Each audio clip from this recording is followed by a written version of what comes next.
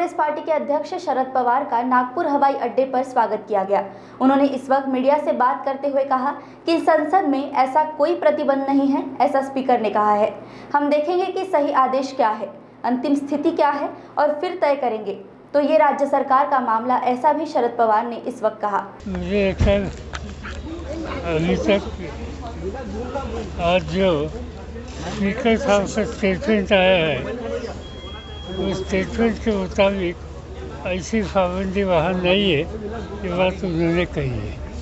अभी कल हम बैठेंगे दिल्ली में सभी राजनीतिक दलों के नेता और क्या फाइनल स्थिति क्या है ऑर्डर क्या है, वो देखेंगे और फिर रिएक्ट करेंगे। बनाई है मगर स्पीकर साहब ने कहा कि ये इस पर रिस्ट्रिक्शंस नहीं है।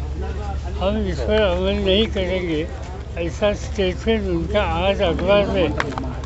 तो ठीक है देखेंगे कल सच क्या है।